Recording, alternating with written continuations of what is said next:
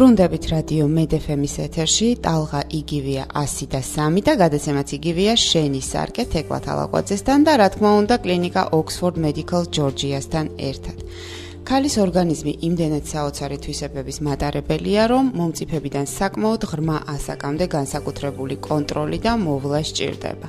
სწორედ ამიტომ ჩვენი დღევანდელი თემა ქალის რეპროდუქციულ ჯანმრთელობას, ზოგადად გინეკოლოგიას დაეთმობა და ჩვენი სტუმარია ბატონი ლადო კახაძე.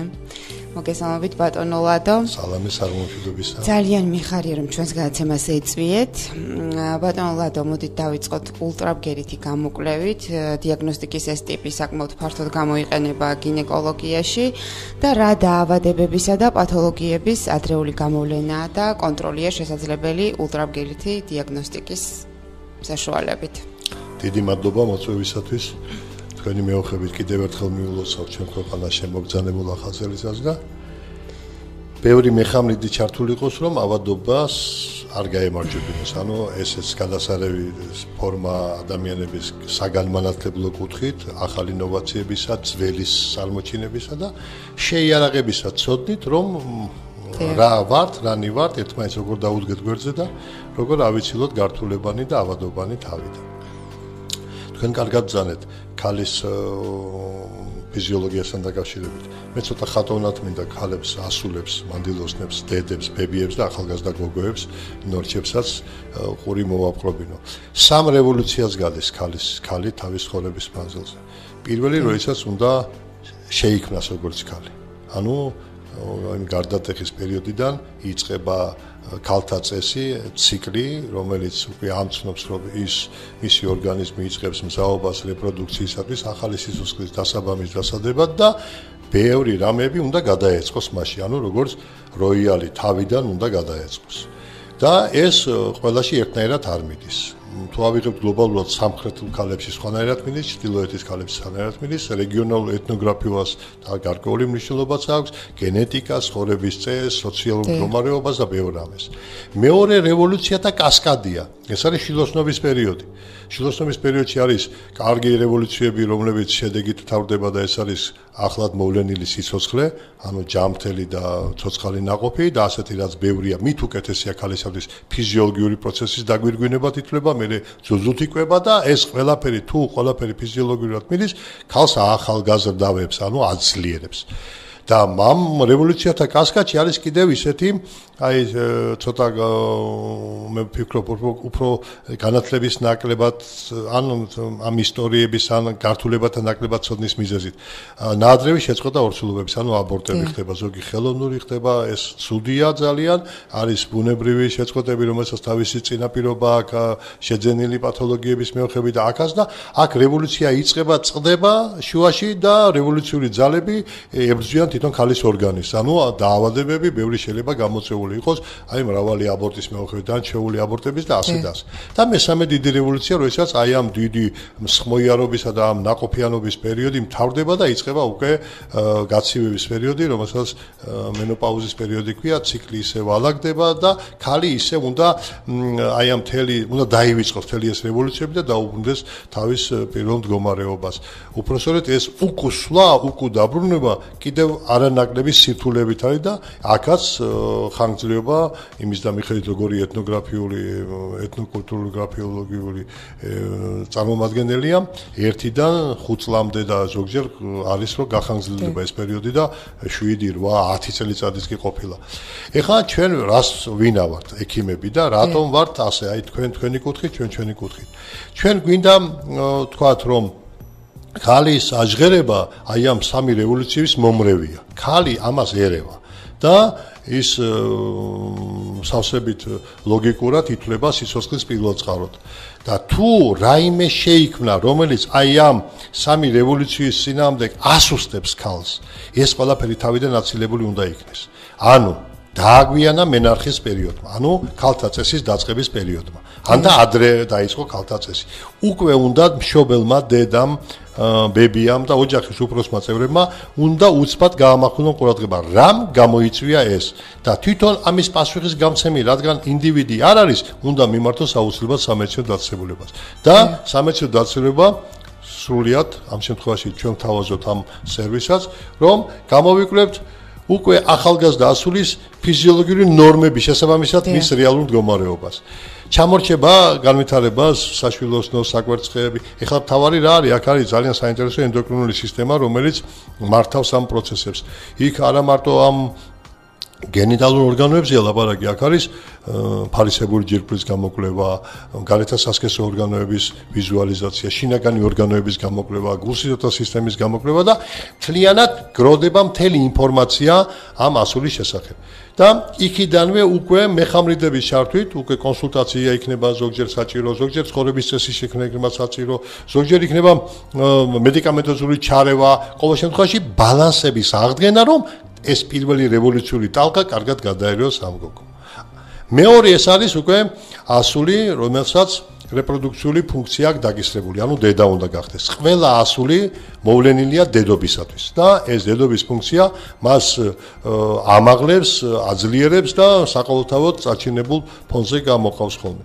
და აქ როდესაც ხდება წინამდებობა სიტყვა ისეთი ცოტა ძვირად სათქმელი ძიმე სიტყვა, მაგრამ მე ვიტყვი, სიტყვა წყალებში უშვილობის საკითხი რო დგება, აი უშვილობის, შვილოსნობასთან დაკავშირებული საკითხი.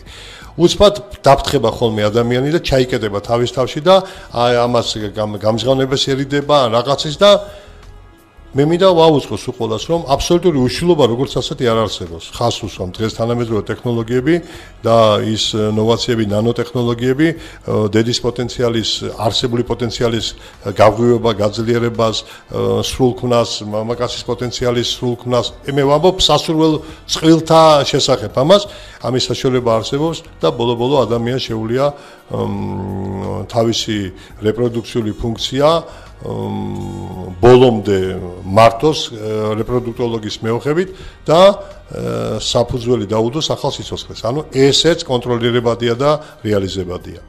ეხლა აი ეს შუალედი, როდესაც თქვი ეხლა ეს აკაც გათხოვდა ასული და პირველი 1 წლის მანძილზე არ მოხდა იმ სასრულ კიდე ერთხელ ნებელობითი როცა არის შეიძლება თავს იცავს ადამიანი და ეს მის კარიერას ან უკვე დაგეგმარებული აქვს ეს ყველაფერი და მაშინ ამ შემთხვევაში პირდაპირ მომართოს აზრი არ აქვს. უბრალოდ მაშინ ეს ნება ნებაყოფლობით შეუულია მოვიდეს და თუ მას სურვილი აქვს და პირველი ერთი წლის განმავლობაში არ მოხდა სასურველი ორსულობა მაშინ სასურველია რომ წვილმა, კარგი გაგებით ისინი შეთანხმებული, შეყვარებული წული არიან ორიენტირებული მომავლის შექმნაზე, უნდა თავის თავი გამოიკვლიონ. ეს ხდება ისევ იმ პროცესების მეოხებით, რომელსაც ქვია საინფორმაციო გამოკვლევა, ანუ პროფილაქტიკური დიაგნოსტიკური გამოკვლევა, როგორც გენიტალური სისტემის, ასევე ექსტრაგენიტალური და ენდოკრინული სისტემის. ამას ძალიან ღირებული მნიშვნელობა მიენიჭება შემდეგ, თუ საჭირო იქნება რაიმე ჩარევა და მეორე პროცესების მართვა.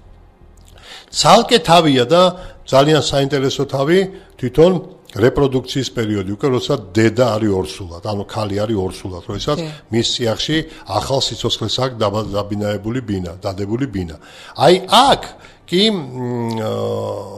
შემოდის დღესასწაულში დგება რეგულარული კონტროლი. მე ვგულისხმობ ულტრაბგერით გამოკვლევას ამ შემთხვევაში და აქ ყველგან სადაც მე ვისაუბრე, ყველგან არის ულტრაბგერითი გამოკვლევა, ულტრასონოგრაფია, ეს თანამდებია, როგორც პროფილაქტიკურ გამოკვლევებში, ისე მიზნობრივი სელექტიური სკრინინგის შემთხვევაში, ბანალური სკრინინგის შემთხვევაში და ეს როგორც მუდმივი დამხმარე საშუალება, მაღალ ინფორმატიული უვნებელი საშუალება არის.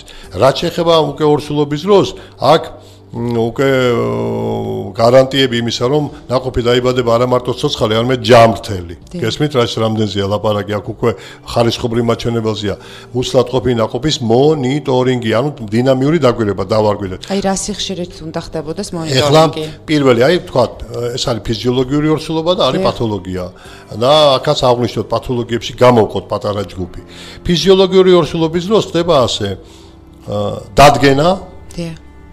ასული ნამდვილად გებულობს, რომ ის არის ორსულად. ეს ორსულობა არის საშვილოსნოს წიაღში და არა გარეთ. თუ არის მტრისას საშვილოს გარე ორსულობა ის ოპერაციით თარდება. ეს არის ან შეიძლება იყოს მილში ორსულობა და მილსას გარკვეული სეგმენტები აქვს, ყელში ორსულობა იყოს, საკვერცხეში ორსულობა იყოს, მუსლიზღის ორსულობა იყოს. მოკლედ, ეს არის პირველი ინფორმაცია, რომ ის უსაფრთხოდ გზნობდეს თავს, რომ გარანტირებულად ღრუშია ორსულობა. შემდეგ კი პაციენტის რამოდენიმე ჯერადი გამოგლოვა. პირველი ტრიმესტრის ბოლო, მეორე ტრიმესტრის ბოლო, მესამე ტრიმესტრის ბოლო. ეს არის აბსოლუტური ფიზიოლოგია, თორსა არც ანამნეზი არ, ანუ ისტორია დამძიმებული არ აქვს ადამიანს. თანამედროვე პირობებში სასურველია 6 კვირის ინტერვალით, აი, დადგინდა ორსულობა და 6 კვირა, 6 კვირა, 6 კვირა და ასე მონიტორინგი, ანუ მკვლევარი სრულ ინფორმაციას ფლობს ჩანასახის მდგომარეობაზე, ემბრიონის ჩანასახის უკვე ناقოფად ქცევის ناقობზე, უკვე მე-12 კვირაზე უკვე ჩანასახი ناقოფად იწოდება და უკვე ناقობის განვითარებაზე. ناقობის თავის ტვინის სტრუქტურების განვითარებაზე, ხერხემლის, საყდენმამოძრავებელი სისტემის ანუ კიდურების, შინაგანი ორგანოების, გულსიზრდა სისტემის და თითქმის ეს ყველაფერი ხდება მუსლატყოფნის პერიოდში და იმ შემთხვევაში თუ მუსლატყოფნის პერიოდში შეუსაბამობანი ბევრი შეუსაბანო არსებობს, როგორც გენეტიკური, ასევე თანდაყოლილი შეძენილი, აი ამის გამოვლენის პირობებში უკვე რასაკვირველია ჩაერთვება წამზომი, რომელიც დედის სიცოცხლის გადარჩენისათვის იქნება ნავარაუდევი. იმიტომ რომ ხშირად არის, რომ უსლად ყოფი ნაყოფი მაგალითადაც ვიტყვი. აკრანია ანენცეფალია. დიახ. ორსულობა ნამდვილად არის, მაგრამ ბევრმა მიზეზმა, გარეგანმა მიზეზმა და გარკვეულწილად შეიძლება რაღაც პროცენტითაც იყოს დაგულისმები გენეტიკური მიზეზი, მუსლად ყოფი ნაყოფს არ აქვს არც თავის ქალა და არც ტვინი. გესმით? და ეს ისეთი შეუსაბამოა სისოს სანამ დედასთან ჭიპლარით არის მიდაკავშირებული ის გული მუშაობს მაგრამ ეს სიმახინჯია და სიმახინჯეები ბევრია. შეიძლება იყოს ტვინის განუვითარებლობა შეიძლება იყოს სხეულის სხვადასხვა ორგანოების განუვითარებლობა და ეს ყველაფერი იწევს რასაკვირველია ასეთი ორსულობის ნაადრევის შეწყვეტის რეკომენდაციის გაცემას, რათა უსაფრთხოდ იყოს დედა დაცული. მე დედის რეაბილიტაცია შესაბამისად და ახალი რეპროდუქციისათვის მზადება. ასევე ორსულობის დროს ჩვენთან ეს ხაზასით მინდა ვთქვა და ყველგან ყველა კლინიკაში ამას ექსება ყურადღება მე მინდა რომ მივესალმოსო ყველა სამკუთხით ორსული ქალი უნდა იყოს შემოწმებული თავიდან ბოლომდე. არა მარტო სტატუსით ანუ სამიანო მდგომარეობის სამიანო სტატუსით მუსალყოფი ნაყოფისა მდგომარეობის გასვით არამედ დედის მდგომარეობის შესწავლით და ერთ-ერთი უმთავრესი თხოვნა მაქვს ყველასთან და ჩვენთან ეს ყველასთან რეკომენდაცია ეწება და ეს კეთდება ყველგან უნდა მოხდეს პატარა ორსულობის ჩასახვიდან, აი, როდესაც დადგინდება ორსულობა, იმ დროიდან ფარისებური ჯირკვლის გამოკვლევა. აუცილებლად. ეხლა მე ცოტა შესაშინებელ სიტყვას ვიტყვი, არ მიიღონ მსვენელმა პირდაპირ მნიშვნელობით, მაგრამ სოფლიოში დღეს დიდი პრობლემაა ფარისებური ჯირკვლის დეფიციტი. ანუ ეს ხუმლობ ჭალებში რომ ფარისებური ჯირკვლის დეფიციტი კრეტინიზმის ჭალებში, რომ შესაშინებელი არ იყოს, ანუ შემდეგ გონებრივი IQ-ს მონაცემების სიდაბლით ხასიათდება. ამიტომ ესეც რეკომენდაციის სახით მინდა ყველას ვუთხრა, რომ როდესაც არის ორსულობა დადგენილი, მან ფარისებული ჯირკვალიც, ანუ საბაზო მონაცემები ფარისებული ჯირკვის შესახებ უნდა შეიქმნას და ვისი კორექციას მოსახერხებელია, იმას კორექცია ჩაუტარდება და მუცლად ყოფი ნაყოფი ძალიან კარგად უსაფრთხოდ იგზნობს თავს დედის სიახში. დედის გულსიზავთა სისტემა აუცილებლად უნდა იქნეს გამოკვლეული.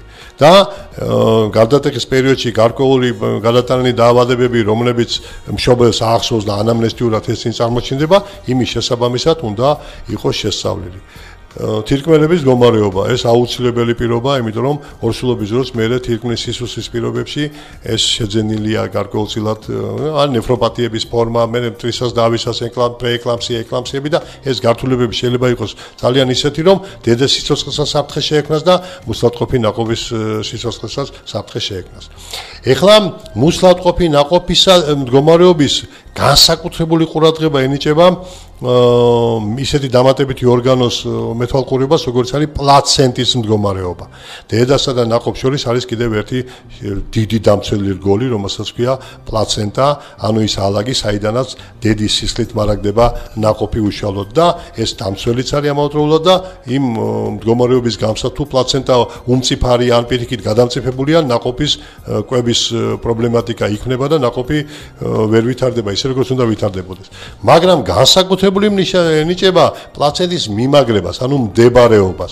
თუ ჩვენ ვადგენთ, რომ პატარა ჩასახული უკვე პირველ ტრიმესში პლაცენტაცია როცა იწყება და უნდა დამთავრდეს და პლაცენტას უკავია საშილოსოს ყელის შიდა ზედაპირი დაფარული, ანუ პლაცენტის წინამდებარეობა ეს უკვე დიდ საფრთხეს უქმნის პოტენციურად ფიზიკურ დათვლის პირობებში შეიძლება აშლევება მოხდეს ის დენა დაიწყოს და მუსლატყობა ნაყოფმა ფუნქციონირება შეწყვიტოს. ამიტომ ასე დედას სხვა რეკომენდაციები ენიშნება სხვა რეჟიმში გადადის. განსაკუთრებულად ყურადღება ენიჭება ხალხსაბჭოთა ყურადღება, როდესაც უკვე მშობიარობის წინა პერიოდში მართვის აი როცა ვაკვირდებით ამ დინამიკას და პლაცენტა მიგრაციას არ განიცდის იმ შემთხვევაში და პლაცენტა რჩება დაბალ მიმაგრებაში ან სრულ და არასრულ წინამდებარეობაში უკვე რეკომენდირებულია ისეთი ჩარევა, როგორც არის საკეისრო კვეთა, ეს უკვე ჩვენებით საკეისრო კვეთა, რომ დედისა და ნაყოფის უსაფრთხოება, ანუ დაცული იქნება ამ ღონისძიების მეოხებით. ეხა ეს საკითხები ნებელობით ფორმას ღებულობს იმ შემთხვევაში, როდესაც ადამიანი განათლებულია ამ კუთხით იცის ყველაფერი და მიმართავს შეგნებულად ამ თავის დაცვის ღონისძიებებს. ექიმები და თქვენი გადაცემაც ამის რეკომენდატორები არიან, ამას აწვდიან ამ სულ ინფორმაციას, რომ ადამიანებმა მარტო თარიგზონ თავი და უსაფრთხო გარემოში იგზნონ თავის თავი, რომ ჩვენ მზადავართ უკვე წელს 3 წელიწადი სრულდება ოქსფორდ მედიკალ ჯორჯიას დაფუძნებიდან საინტერესო დროს შემოვიდნენ ისინი ამ ბაზარზე, სამეცნიერო ბაზარზე, შემოვიდნენ თავისი სეგმენტით, ვიწრო სეგმენტით და შემდეგ დაიწყო ამ სეგმენტმა გაფართოება იმ კუთხით, რა კუთხითაც ახლა ჩვენთან უკვე დიაგნოსტირების კუთხით რეპროდუქციული პრობლემატიკის საკითხები წინა პლანზეა წამოსული, როგორც ქალის ასე მამაკაცის და მე აქვე მინდა აღვნიშნო, რომ არავითარ შემთხვევაში არ იფიქროს ოჯახის რომელიმე წერმა, რომ რომელიმეს მეტი დანაშაული მიუძღვის, იმიტომ რომ თუ პრობლემასთან გვაქვს საქმე, აქ პროცენტები 50-50-ზეა, ამიტომ მე მოხარული ვარ, როდესაც ამ პერიოდში, რასაც მე უკვე თითქოს 3 წელიწადია ამ დაწესებულებაში ვარ, მეუღლები რო ერთად მოდიან და აი ამ გულში შემატკივრობენ ერთმანეთს უკვე წინასწარ გაზია გაზიარებულია ის რომ ისინი ერთად არიან შემოქმედის სიცოცხლეს და ორივე იკვლევენ თავიანთ თავს იმიტომ რომ სუსტი მხარე სადაც არის ის უნდა დაბალანსდეს ზიარი ჭვირის პრინციპი უნდა შემოვიდეს ორივე გამოჯამთდეს ენერგია გადანაწილდეს და ისე შეიქმნას ყველა პირობა ახალი სიცოცხლის შესაძლებლობისთვის ეს რაც შეეხება სუფთა სამიანო კუთხით ამის განხილვას და ჩვენ თანამშრომლობას კლინიკასთან კლინიკის ასპექტთან. მაგრამ არის გინეკოლოგიის ვებერთელა თავი. ეხლა წარმოიდგინეთ თქვენ ესეთი რამდენი ასული რომელიც ახლა მე მისმენს გაიხსენებს თავის თავს. რამდენჯერ მომხდარა მესტრალური ციკლის დარღვევა ყველა დარღვევას თავის მიზეზი აქვს. ეს მიზეზი შეიძლება იყოს ცენტრალური ნერვული სისტემა ენდოკრინული სისტემა უშუალოდ გენიტალური სისტემა და უამრავი უამრავი უამრავი სისტემები. ამიტომ როგორც კი ასულს თავის თავსთან კითხვა გაუჩნდება რატო მოხდა მე აი ამ ქალთა წესის ამ ციკლის ან ჩავარდნა ან მისი არასწორად ინტერპრეტირება ან გამომსხავნება რაოდენობრივ ჭრილში იქნება თუ დროში იმან აუცილებლად უნდა მომართოს კლინიკას. იმიტომ მიიღოს პასუხი იმ შეკითხვაზე რა მოხდა. ამ შემთხვევაში ჩაერთვება ეს დიაგნოსტიკის უამრავი მეთოდი. ძირითადად ულტრაბგერტი დიაგნოსტიკა მე ენდოკრინოლოგიური კვლევა ანუ ის ბიოლოგიურად აქტიური სუბსტანციების ჰორმონების გამოკვლევა და მათი შესწავლისა და დაბალანსების პირობებში შეიძლება კორექციას დაექვემდებაროს. მაგრამ არის ისეთი რამ როდესაც საჭირო ხდება ქალისათვის რეკომენდაციის გაწევა მან გაიკეთოს ოპერაცია. მაგალითად საშვილოსნო ქალი აბსოლუტურად კარგ რეპროდუქციულ ასაკში ახალგაზრდა, მაგრამ გენეტიკურად ან შეძენის პირობებში ან გორმონული დისბალანსის პირობებში განვითარებული პათოლოგია დაურდა მრავალკვანძოვანი ფიბრომიომა. და თვითონ ფიბრომიომა თავისთავად მორსულობის წინამდეგი არ არის, მაგრამ თუ ეს კვანძები ხელს უშლიან უშუალოდ საშვილოსნოს გულში, აი მიმაგრებას ჩანასახოვან განაყოფიერებული კვარცხლბეჭდის, მაშინ რასაკვირველია რეკომენდირებულია რეკონსტრუქციული ოპერაციები და როდესაც ხალი ღებულობს თავის ინფორმაციას თავის საშვილოსნოს გომარების შესახებ, ან საკვარცხლის გომარების შესახებ, ის მიმართავს შემდეგ განკურნების ოპერატიულ გზას. ეხლა კიდევ საინტერესო თემა მინდა წამოვწიო. აა ბევრი ასული, რომელიც არის ორსულად, მან არიცის რომ ორსულობის დროს დიაფრაგმის მაღლადგომის შემთხვევაში სანაკლე სისტემა ცოტა წინააღმდეგობაში მოდის თვითდინებასთან, ანუ ადვილადინებასთან და ხდება შეგუბებითი მოვლენები ხოლეცისტიტები და თუ ვინმეს გენეტიკა აქვს დატვირთული, შეიძლება კალკულოზის განვითარდეს, ანუ კენჭოვანი დაავადება. აი წარმოიდგინეთ ორსულობა ფიზიოლოგიურად მიმდინარე, მაგრამ გართულებული ნაღლის ბუშით, უკვე ნაღლის ბუში არსებული კენჭის გამო. ასევე ორსულობა მიმდინარე ფიზიოლოგიურად, მაგრამ თირკმელში არსებული კენჭის გამო, ან თირკმელში არსებული კისტის გამო, რომელიც აფრთხობს მიანს და აფრთხობს იმ ადამიანებს, რომელიც ელოდებიან ფიზიოლოგიურ და იციან ფიზიოლოგიად მიმდინარე ორსულობა, მაგრამ ექსტრაგენიტალური პრობლემები შეიძლება დახვდეს. ანუ მე მიმყავს საუბარი იქითკენ რომ ჩვენ ვთავაზობთ ნებისმიერ პაციენტს, ნებისმიერი სფეროს პაციენტს კომპლექსურ გამოკვლევას. თავიდან ბოლომდე ის ადამიანი ნებისმიერი სტატუსის მქონე, ანუ მე ჯანმრთელობის სტატუსს გულისხმობ, გებულობს სულ ამომწურავ ინფორმაციას თავისი მდგომარეობის შესახებ და შემდეგ თავაზობთ კიდევაც თერაპიულ დონეზე კონსულტაციას მკურნალობით და თუ რადიკალური ჩარევა საჭირო, ჩვენი მეგობარ კომპანიებთან ერთად ამ სერვისებს თავაზობთ. ბატონო ლადო, ეთერში დაბრუნდებით პატარა მუსიკალური პაუზის და სარეკლამო ჭრის შემდეგ. შეამოვნებით. გადაცემა შენი სარკე კლავ ეთერშია თეკლათ ალაკვაძესთან ერთად და შეგახსენებთ ჩვენი სტუმარია კლინიკა ოქსფორდ მედიკალ ჯორჯიას ეკოსკოპისტი ექიმი ბატონი ლადო კახაძე. ბატონო ლადო ძალიან გავრცელებული ეს დიაგნოზი საშულოსნოს ყელის ეროზია. რომ განგვიმარტოთ რა დაავადებაა ეს და რა იწევს და რა სახის კურნალობას საჭიროებს? პირველი საშულოსნოს ყელი არის უსათნოესი მოპყრობის საგანი. ისე დატვირთვას, როდესაც როგორც საშუალო სოცხელი განიცდის შობიალობის დროს და ნებისმიერი манипуляციის დროს, რომელიც ჩალევასთან არის დაკავშირებული, ეს შეუსაბამოა მექანიზმებისთვისაც კი და ვერ დაძლევს ზოგიერთი მექანიზმი. ამიტომ საშუალო სოცხელი ნამშვებიერმა ქალმა წელიწადში ერთხელ აუცილებლად უნდა გამოიკვლიოს. ეს არის აუცილებელი და გარდაუვალი პირობა. გამოკვლევის კომპონენტები არის ეს რა ულტრაბგერთი გამოკვლევა, ანუ ვაგინალური გამოკვლევა, რომელსაც ყელის არხის მდგომარეობა, ყელის პროპორციები საშუალოსთან, მისი სუბსტანცია, ყელის შიგნით არსებული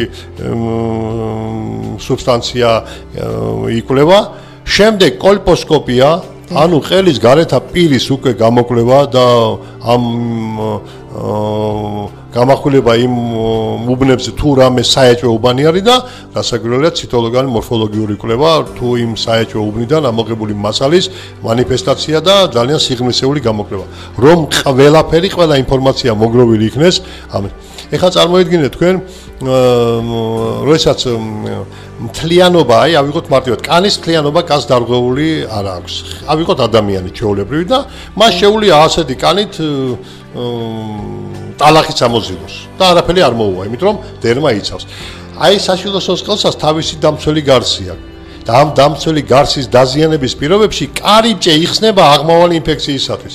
ანუ აი ეს ეროზიები, ის კანის ზედაპირის დამცველი საფარველის დაზიანება უკვე ხდება მოყაბის პროგრამონადენი სისხნარევი გამონადენი, ჭუჭყიანი გამონადენი, მუქი გამონადენი, აციკლიზმი, წვა, ტკივილი, დისკომფორტი იმ წუთასე რატომ? იმიტომ რომ ადამიანი ადამ რეპროდუქციის პირობებში აი ამ ჩეხო ვეგეტატიურად ამრავლდებით ჩვენ სპორადიულად ამრავლდებით ჩვენ სქესობრივი გზით ადამიანი კაცობრიობა სქესობრივი. ამიტომ შემთხვევის იმისი რომ საჭიროება მაღალია ამ გზითაც ინფექციის გადაცემისა, ეს უკვე ღია კარიბჭე რო დახვდება ინფექციას, ერთი სულია გაინავარდოს და აქედან ნელა-ნელა მეორე პროგრესირება მოახდინოს და გადავიდეს უკვე საშილოსოს ზემოთ არსებულ ნაწილში და შემდეგ საშილოსოს კი დატოვოს და პარამეტრებში გადავიდეს საშილოს გვერდით სივრცეებში, მის ირგვლივ და არა მარტო და ამ ქსოვილით მეორე გადავიდეს მეზობელ ორგანოზე და ასე და ასე და ასე. ამიტომ იმ პირობებში როგორც კი აღმოჩნდება რომ ეს არის მთლიანობის დარღვევა, აქ არის მოწოდებული ჯერ მისი სუბსტანციის შესწავლა, გამომწვევი მიზეზების ზუსტი დადგენა, ბაქტერიოლოგიური კვლევისა და მორფოლოგიური კვლევის შეჯამება, მისი პათოგნომური, ანუ იქ არის თუ არა გადაგვარების ნიშნები, ამისი გამოვლენა და თუ საშუალება შეიძლება ატიპიზმის არ არსებობა, რასაკვირველია მისი სრული რეკონვალესენცია, ანუ სრული აღდგენა. ქსების სხვადასხვა არის. ამისი, როგორც ადგილობრივი მედიკამენტოზური მკურნალობა, აპლიკაცია, ელექტროკოაგულაცია, კრიოდესტრუქცია და უამრავი რამ, მაგრამ გარეთა პირით ამთავრდება ყველაფერი. აუცილებლად შესაძლებელია საშვილოსოს ყელის მთელი არხი.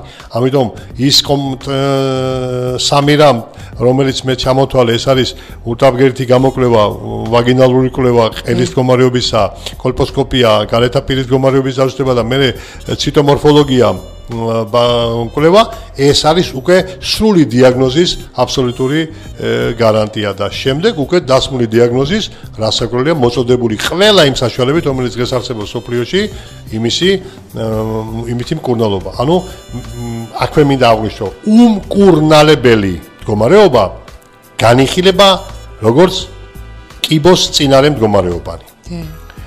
მე ამ სიტყვებს შესაშინებლად არ ვამბობ. ეს ყველაფერი სრულიად დავიც სრულიად აღდგება ყველაზე ავიზრახვა სიავისა განადგურდება თუ დროულად იქნება ეს დასმული და დროულად იქნება აღდგენილი ეს მდგომარეობა. და შემდეგ რასაკვირველია დინამიური დაკვირვება. ანუ მონიტორინგი ეს ისეთი სიტყვა რომელსაც სკოლა ხმარობს ანუ წელიწადში ერთხელ მინიმუმ წელიწადში ერთხელ. ასევე მინდა აღვნიშნო რახან ყელთან ყელთან მინდა დავაკავშირო ეს მდგომარეობა. გაათხოვილი ნამშობიერები ქალების ასულებს ვთხოვ საშვილოსნოს ყენის მიღმა სარძევე ჯირკვალი გამოიკვლიოს ყველა წელიწადში ერთხელ. ეს იქნება საკუთარი თავისა და ოჯახის პატივისცემა რომ არ დამალოს იმ ავადობამ თავისთავი რაღაცა მორიდების გამო და ადამიანმა შეზღუდოს თავისი უფლება რომ გამოიკვლიოს ეს ყველაფერი დღეს ამის საშუალება არსებობს და ბოდიშის მოხდითული, მაგრამ სიცხვილი იქნება თუ გაგვეპარება ისეთი რამ, რომელიც არ უნდა გაგვეპაროს. დღეს პრევენტიული ღონისძიებების ისეთი სიმრავლეა და ტექნოლოგიურად ისე კარგად არის აღჭურვილი კლინიკა, ჩვენი და კლინიკები, მე არ მინდა ვინმეს შეურაცხყოფა მივაყენო, რომ პაციენტებმა თავისი დობის ფაქტორით აღჭურვილი თავი მიანდონ ექიმების პროფესიონალიზმს და მათი თანადგომა ერთმანეთის მიმართ წმენით შეკრული ავადობას მეხამრიდა დაუდგება და აისილებს თავიდან. და ბატონო ლადო, აი ყველა ქალის ცხოვრებაში დგება კლიმაქსის პერიოდი, ეს ფიზიოლოგიური მდგომარეობა, მაგრამ რა სიტყოდით ნაადრევი კლიმაქსის შესახებ, როგორ ხდება მისი განკურნება, აი თქვათ, როცა ქირურგიული ჩარევის შედეგად, თქვათ, საკვერცხისთან საშუალო სამუხების შედეგად დგება, სიმპტომები არის თუ არა იგივე და თქვათ, რა განსაკუთრებული მკურნალობა სჭირდება? ლამაზ კონსტრუქციას ჩამოვთვლი ახლა. ქალში ეს 10 მაგად ლამაზია. ტვინის ქერქი, ქერქვეშა კვანძები, ჰიპოთალამუსი, ბადისებური ფორმაცია, ჰიპოფიზის წინა შუაწილის ნაწილი, ფარისებური ჯირკვალი, თირკმაზე და ჯირკვალი, საკვერცხე საშვილოსნო. ხო ხედავთ, რამდენი სუბსტანცია არის, რომელიც ერთმანეთთან პირდაპირ და უგუ კავშირის მეოხებით არიან დაკავშირებული. ამიტომ ცენტრიდან წამოსული ნებისმიერი ინფორმაცია ამ გზას გაივლის და უკვე საფასუხო მე ჩატარებული ყველა გონიზება ამავე გზით უნდა დაუბრუნდეს ცენტრალურ ნერვულ სისტემას. თავი და თავი შეიძლება ქალს კონდეს საშვილოსნოს ნორმალური ფორმის, საკვერცხეს ნორმალური ფორმის და სულებით არ იყოს კასტრირებული და ოპერაცია გაკეთებული არ ქონდეს ყველაფერი და აა ტვინს მიადგეს დიდი დატვირთვა, ანუ ემოციური უარყოფითი სტრესი, ანუ შოკური მდგომარეობა, ელდა შიში, რამ რომელმაც თლიანად შეიძლება აღუქმადი გახადოს პერიფერიაზე მიმდინარე პროცესები და ქალმა დაკარგოს მენსტრუალური ციკლი. ანუ ამ შემთხვევაში ეცქნება ცენტრალური ნერვული სისტემის არაადეკვატური პასუხი გარეთ მიმდინარე პროცესებს. შეიძლება მოხდეს იგივე, ოღონდა პირდაპირ ინფორმაცია არ მიაღწიოს ტვინამდე და ამაში თავისი როლი ითამაშოს ფარისებურმა ჯირკვალმა. და ფარისებურმა ჯირკვალმა დაბლოკოს და ესეთი მარტივი ადვილია გაფუჭებული ტელეფონის ფუნქცია, გა თამაში რო იყო გაფუჭებული ტელეფონი, ერთ სიტყვას ეთქვი მეორე მეორეს მესამეს და ლოგიკური ჯავს დაკარგავ. ასე ფარისებრო ჯირკვალმა დაბლოკოს ის ინფორმაცია საფასუხოდ, რომელსაც გაწევს საკვერცხე ტვინის მოთხოვნაზე ციკლში ჩართვის თაობაზე. და გარდა ამისა, არის მესამე მომენტი, რომელსაც ძალიან დიდი ყურადღება უნდა მივაქციოთ, ეს არის თირკმაზე და ჯირკვალი, რომელიც ქალსა და კაცის ორგანიზმში არის ბუფერის სუბსტანციის შემსრულებელი. ე როგორც ზიარჭურის პრინციპში ხო, ადამიანში ორი საწყისია, ქალის და კაცის და ამიტომ გორმონალური დისბალანსი თირკმაზე და ჯირკვალთანაც ძალიან კარგ ურთიერთობაშია. ეს არის ძალიან სათუთი რუდუნებით მოსავლელი ორგანო. აი, აქაც უნდა იქნეს გამოკვლეული, რამ გამოიწვია ეს ციკლი. როდესაც ასაკობრივი ცენზი ემატება ასულს და უკვე საკვერცხემ შეასრულა ის ფუნქცია და მან ის გაცვდა, გაცვდა, გაცვდა, მე ის ფრთად განილევა ინმოლაციას განი ინმოლაციას განისის და სრულად დაკარგავს ამ განავლების უნარს. ანუ მოხდება ფოლიკულური აპარატის სრული ალაგება და გადავა ნელა-ნელა გადავა, ანუ დაივიწყებს ამ ციკლის თაობაზე. მაგრამ ეს თუ ერთბაშად მოხდა, წარმოგიდგენია თქვენ, მე გითხარით თავში რომ ის იმუნოსისტემა, ის ენდოკრინული სისტემა, რომელიც შეიარაღებულია და არის ამ ციკლის პასუხისგებელი ამ ციკლზე. ისინი დარჩნენ საშვილოსნოს გარეშე, ისინი დარჩნენ საკვერცხის გარეშე. რა უნდა ქნას ასეთ პირობებში ადამიანმა? დასაკვირველია ეს ყველა ბალანსი ხელოვნურად უნდა შეავსოს. ანუ უნდა ზუსტად იმ ანალოგიის, იმ ასაკის შესაბამისად, იმ ენდოკრინული სისტემის არსებული პოტენციალის, დარჩენილი არსებული პოტენციალის შესავლის შემდეგ გამონებული შესაძლებლობების შესაბამისად მოხდეს ადეკვატური შევსება იმ ბიოლოგიურად აქტიური ნივთიერებების, რომელსაც გორმონები ქვია და ეს ბალანსი ხელოვნურად, აი ინსულინის დროს, მონაკლების დროს საკრიან დიაბეტი ხო გასოთ როგორ არის? ინსულინის ხელოვნურად ღებულობს და იმ მანიცის რა კალორიაჟი უნდა მიიღოს და შესაბამისად რა ენერგია უნდა დაახარჯიოს ამ რა ისი მონელების თავი აქვს ამ შეყვანილ ხელოვნურად ბიოლოგიურად აქტიურ ნივთიერებას. ასეთი მართვა ხორციელდება. ანუ ამ შემთხვევაში რეპროდუქტოლოგებს ძალიან დიდი როლი ენიჭებათ ყოველი ინდივიდის მიმართ. აკაც ხაზ გასიმფინდა აღვნიშნო. ეს არ არის რაღაც ისეთი სტანდარტი, რომელიც შენ შეგიძლია 10 ქალს ერთნაირად დაღვნიშნო. ყველა ქალი ზუსტად ინდივიდუალურად უნდა მისი სუბსტანცია შესწავლილი იქნეს და არსებული რეალობიდან გამომდინარე მოხდეს მისი მდგომარეობის კორეგირება, ანუ გასწორება, დაბალანსება, ზიარი ჭურჭლის სადღაც დავკარგეთ ენერგია და სადღაც ჭარბი გვაქვს ეს ენერგია, ჭარბი ენერგიის მონელებისა და დეფიციტის ურთიერთგაჯერების მეოხებით. ამიტომ კლიმაკტერული პერიოდი ეს არის ძალიან რთული, მაგრამ მართვადი პერიოდი, რომელიც კიდევ ერთხელ ვამბობ, დიაგნოსტირების შემთხვევაში უფრო ნაკლებად ხდება ახმადი, იმიტომ რომ არასწორად ნამკურნალები, არასწორად მართვადი კლიმაკტერული პერიოდის შემთხვევაში ძირითადად ტრავმას განიცდის ნერვული სისტემა, განიცდის გულსითავთა სისტემა და ასეთი ასულნი შემდეგ სავსებით სამართლიანად განაცხადებულნი არიან იმ გარემოზე, რომელშიც უცებ ყოფა და რატუღაც გონია, რომ ისინი აგზნებულები რო არიან და რაღაც უფრო ესე არაადეკვატურად ზოგჯერ რეაგირებენ ან გარემო ფაქტორებზე ან სოციალურ ფაქტორებზე, ჩვენ გონია, რომ ეს რაღაც ეს არის ზუსტად მოუწესრიგებლობის ბრალი, რომ არ დაბალანსდა ეს მდგომარეობა. კონკრეტული მკურნალობის თაობაზე შეგნებულად ვამბობ უარს, ეს იმიტომ თვითმკურნალობა დამღუპველია, ხას უსვამ, ეს არ შეიძლება ადამიანმა თუ ამაში კონკრეტულად ექიმის მიერ დასმული დიაგნოზი, მერე გაჯერებული, მეცნიერულად დასაბუთებული და რეპროდუქტურის მიერ ხელდასმული არ იქნება კონკრეტული მკურნალობა, ეს არ იქნება ჩემგან სწორი რომ ეს გავაჟღერო. ამიტომ ამის საშუალებები არსებობს, თავარია რომ პაციენტმა სრულად მიიღოს ინფორმაცია კონკრეტულ შემთხვევაში რა მკურნალობა უნდა ჩატარდეს ამ მდგომარეობიდან გამოსასვლელად, უფრო სწორედ ამ მდგომარეობის მართვისათვის.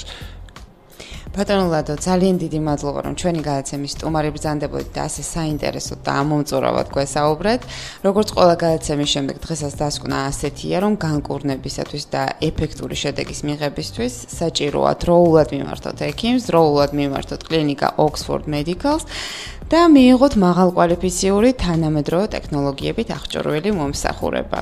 მე ერთ ჩემს მიმართვაში, რომელსაც ავრცელებს მასმედია და ეს რატომღაც კარგად არის შეთანხმებული მაყურებლის და მსმენელის ხურთან, მე ვამბობ ასე სიტყვას, დაიხსომეთ. დიახ. დროული და სწორი დიაგნოზი. უცილობელი გარანტიაა ავადობის თავის აცილებისა.